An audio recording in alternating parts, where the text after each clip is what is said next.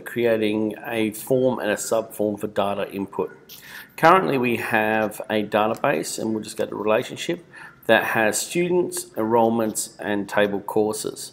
At the moment there is no data held within the student courses so if I go into design and look at the view you'll notice there's no data in there at the moment but under table students we have some students we have some students in the table and also in table courses, we have some courses that students can enroll in.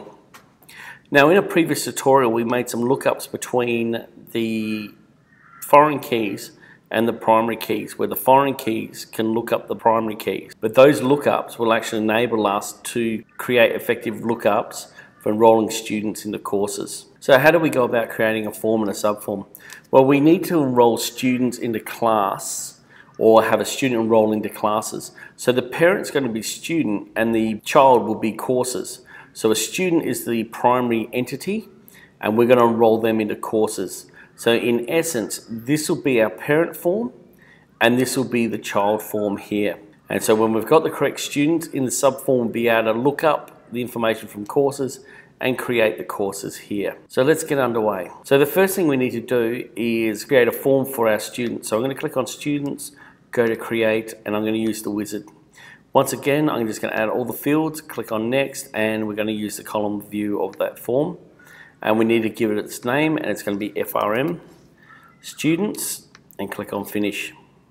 So this is our students form. Currently we don't have photos of our students, so I'm just going to delete that section by going into the design and then just cut. This way I can put the subform in here and it'll fit nicely on screen. Now I'm just going to save that with a Command S and then I'm going to close everything that's currently open. This way I've got a nice clean workspace. Now what we want to do is enroll students. So we need to have enrollments as our subform. So once again we'll go up to create, we'll do it with the wizard, but it's going to be a little bit different this time. And we're just going to bring the course ID across and click on next. We're going to use the spreadsheet view and we need to give it a name of SFRM for subform and click on finish. So this now will become part of our student form. So a student will be the parent, so we open that first and then we need to go in design view. And the actual enrollment is going to be the child, the subform. So I just drag that out and drop it in here. Now there's different selections on a form. Notice at the moment we've got the outer bounds of this form. If we look at data, you notice there's a link between the master field and the child field. So student ID up here and the student ID that's contained within the enrollment table. So that is the parent and this is the child as specified over here. Now what we want to do, now if I select different areas such as a field itself or the form corner here, you notice that the data is different. So to see the parent and child relationship, you must select the container that it lives in, and this gives you your parent and child or your master field and your child field. Now once we've done that, we can save this form. This saves form students, so this one here, and then we can go into the runtime view. So at the moment, this is our enrollments. I'm just going to make that a little bit bigger by going into the design view. We can turn off the navigation and handles and all those sorts of things for it, but we won't do that at the moment.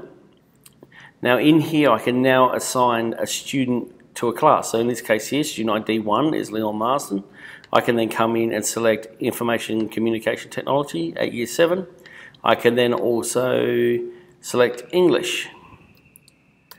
Now, what I'm going to do is leave this form and now go have a look at enrolments you can actually see that those two subjects I just created in the form subform now appear here. If I go back to the student form, you can see that I have classes. If I go to the next record, which is the next student, in this case here it's Lisa Simpson, so we can actually allocate her to information IPT, and we can also put her in an English class as well.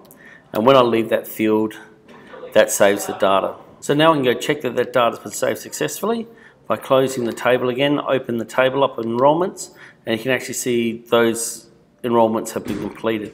And you can use that form subform as a way of effectively enrolling students. And if you've got your relationship set up correctly with dual primary keys, It'll also stop you from enrolling a person into the same subject twice. So if I decide to enroll into English a second time, when I press tab, you get an error saying that it's a duplicate. So therefore, you can stop duplicated data from being entered into your database, increasing your integrity. So this is how we can create a form subform using some, now if you apply your skills in form management and navigation, changing the fonts and colors, you'll have an effective interface for your end users.